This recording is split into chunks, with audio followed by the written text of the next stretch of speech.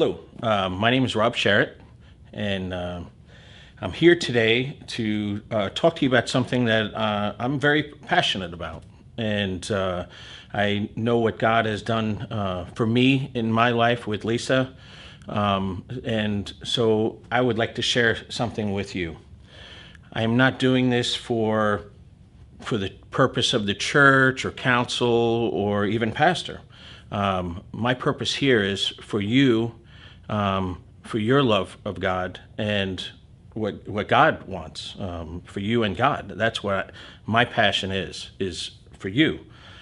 Um, and I'll explain. Um,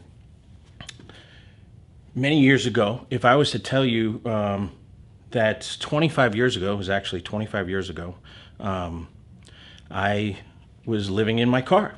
Um, I had rented a, a, room with from someone, and they, while I was gone, they left and took all my stuff.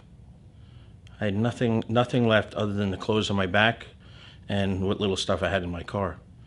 Um, I was working at a job at the hospital making $4.47 an hour. Um, so I literally had nothing. Um, I didn't have family here. Uh, I had a couple of friends. Um, so um, it was a very dark time for me. And I, and I don't want to get into all the other things. That's not what this talk is about. But by all means, if you ever want to talk about it, feel free to come to me and I'll be happy to talk to you about it. But what I want to talk about is moving forward from that point. Um, I uh, was working at the hospital and I progressively, um, you know, worked my way up, got a little bit better job. Um, a friend of mine helped me, um, let me move in with him, helped me get a little bit on my feet. I, I got even a better job. Um, and uh, I was hanging out with uh, a friend of mine whose parents were, um, would invite me over for dinner, knew that I was kind of down and uh, so I'd go over there, and and then they started inviting me to go to church, and uh, so I, I, started going back to church and going with them, and, and things were were getting better. Um, got a new job, um, got a, a, you know a really good job um, working for a company, and uh, so I got my own place. Um, so things were getting better. Um, going to j- church occasionally, and then I uh, I met Lisa, and we started dating and then uh, we got engaged and uh, decided to get married. Um, so two years after our first date, we ended up getting married. Um, so I went from being single, nobody, and now um, I'm married and I have three kids because Lisa had three from a previous marriage. And uh, so that was a challenge in itself. So when, when we decided to get married, uh, I said, well, we're going to need more help, and I, I can't do this on my own. Um, so we started growing our faith together. Uh, Lisa was not much of a churchgoer at the time either, and we started going to church together, and, and we started growing our faith. Uh, went to a, a, small church, and um, we would, um, you know, about a year after we got married, we decided to build a house. We built a house. Uh, the two of us had, you know, decent jobs. We had good jobs. Um, and, but, you know, like every young couple, you, you want to buy a house. So we bought a house. And so now we have a mortgage. And then we um, had cars. So we had car payments and uh, and three kids, and then lo and behold, a year later, we find out we're going to have twins. So now I go from single. Now I have we're going to have five kids in the house, and uh, talk about stressful. Talk about a challenge. Um, so, like every good parents or uh, families, that we want to provide as much as we can um, for these kids. So, what was happening is is that you know we'd be building up this credit card uh, because we we weren't just living paycheck to paycheck. We were living paycheck to paycheck to credit card, and um, you know it, we were doing what we had to do or what we felt we had to do. Um, so the credit cards started piling up, and uh, then you know we'd max one out, and then we get this great offer, and it'd say um, switch uh, this over for zero percent interest, and so we do that, and then next thing you know, we're uh, we're using that other card again. And so it just kept going on and on. And um, you would not believe, but we um, we ended up probably with four or five different credit cards, and they would all get maxed out on top of the mortgage and the two car payments. Um, it was it, was actually embarrassing. Um, so and all while you know we've been going to church and, and we're we're you know we hear uh, different things about you know tithing and and we would tithe and we would um, not tithe I'm sorry we would give our offering to church and what we would do is we'd get our paycheck and we would um, pay all our bills and then we okay what do we got left for church and it would basically be nothing and so that was our giving to church and we really weren't trusting in God and we weren't, you know, doing what we're supposed to. We were going to church. Yeah, we were building that um, relationship with God, but we weren't really trusting Him. And then I heard this, uh, we, we heard this Bible verse. It's actually a Proverbs. Um, and it's Proverbs 3, 5, and 6. And it says, Trust in the Lord with all your heart. Do not depend on your own understanding. Um, seek His will in all you do and he will direct your paths. That was the problem. We were doing trying to figure it out on our own and not trusting him, his understanding and what he wants. So that was a big change for us. When we started thinking, and you know, we had a pastor at the time, and he would he was directing us in this way, and uh, it, something just clicked in us, and we said, you know what, we can't do this without God, and we were trying to you know, let him help us, but we weren't trusting him on everything. And that was the one thing that we weren't. And trust me, we fought. This was probably one of the biggest sore things um, in our in our relationship was finance because we were struggling so much, just like pretty much anybody else. So what we decided to do is we're going to trust him. And what we did, we sit down, get our pay, and we put it into the checkbook and go in front of the computer. And what we st- decided to do was, is we sat down and prayed. And I said, Lord, allow me to be a good steward with the blessings that you give us. And then we would take our tithe out first. And I'll never forget it. It was incredible that we would start taking out our tithe first. And guess what? Uh, it was unbelievable. It was unbelievable that we never went without. It always worked out. Now, don't get me wrong. I'm not going to say it was glory. We struggled. We, you know, we had our problems. We had our issues because we are so far behind. But you know what? It was different this time. We weren't fighting about it. We weren't um, arguing. We weren't.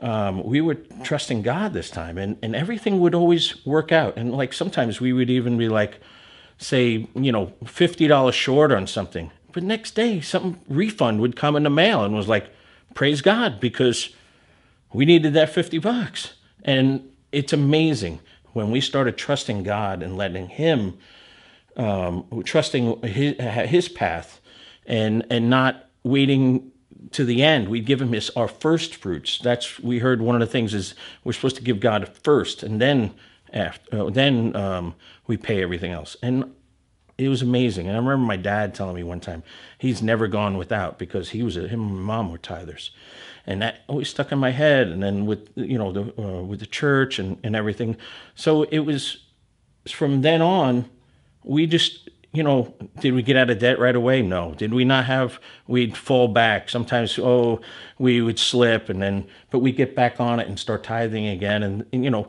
you always have those struggles Point is, every time we trusted God, it always worked out. And then years later, um, it was now, it's been 11, 12 years ago, um, opportunity came for me to buy a business. And um, I left a good job. I was making $80,000 a year. I mean, and but I felt that God was saying, This is what I want to do. This is what He wants me to do. And what it did is gave me freedom to not only, um, you know, bless others. But I mean, besides me being blessed, I was able to bless others with this business. And um, somebody needed carpet cleaning. I'd say, yeah, go ahead, go. I'll go clean their carpet for free. Or it gave me that opportunity to do those things. and we've been blessed. And from time buying that business, and never looking back, God just continually bless us, and we felt we to this day we feel blessed beyond belief, and uh, I can't uh, I can't stress that enough. And um, because we started putting our trust in Him and, and not ourselves. Um, and anytime we started to go in ourselves, we'd always fall back behind again. Um, so that was a uh, one instance that you know I saw clear as day how God has blessed us because we started tithing. We started we started giving. We we we have this joy in our hearts uh, from um, being able to bless others because we've been blessed so much, and God keeps blessing us in, in a tremendous way because we're we're giving to Him. It's just constantly going, and uh, we just feel tremendously blessed. Um, I'll give you another, for instance. Um, we were at that church and we decided to go to another church. The girls were like about four years old, and we wanted to go to another church that was growing, maybe some kids and and and that kind of thing. And um, so, as usual, we we get uh, involved in the church. You know, we, we, start helping out, we doing things and getting involved, and um, things were going. You know, things were going good. Um, but they then they asked me if I would be on council, and um, I said, okay, I'll, I'll, I'll, go on council. And um, then they said, well, we want you to be in charge of stewardship. And I was like, okay, I, I, will do stewardship. And I started looking, and, and this was a small church. Their budget was probably around a 100000 maybe a little more. Um, and um, they had their issues too. I mean, just like they were struggling. And uh, it turns out that they were um, between about five, four or five months behind on their mortgage, um, their electric bill, their phone bills, uh, various other things. It added up to be about twenty thousand dollars behind, and um, so I'll never forget it. The first um, meeting we had it was in January, late January, and they um, they wanted me to do stewardship, and uh, I said to them, "Okay, but." Um, we need to start tithing as a church um, because uh, something's not going right here. We, they were doing two to three percent, and uh, they they pretty much fought me on it. We actually it was one of the longest council meetings that I uh, uh was ever at, and it was probably about four, at least four hours long, trying to convince them that we should start tithing. And finally, after my persistence and, and everything, they uh, agreed to um, start tithing. And uh, I'll tell you, after that moment in January, throughout the year, the, the, the, culture just changed in our church. It was people were having were joy and they were wanting to give to help us get caught up and they it was just the whole mentality of the church. It was not about uh, them. It was not about the debt or being behind. It was about giving and feeling joyful about it and and want to succeed. Um, and the whole change in the whole the whole year. And I'll I'll be honest with you. The end of that year, the week in between Christmas and New Year's, it was a Sunday, and they announced to the congregation that we were 100% caught up on all our bills. That $20,000 deficit was gone. And not only that is is that that year we also raised five thousand dollars for a new street sign for the church that we needed.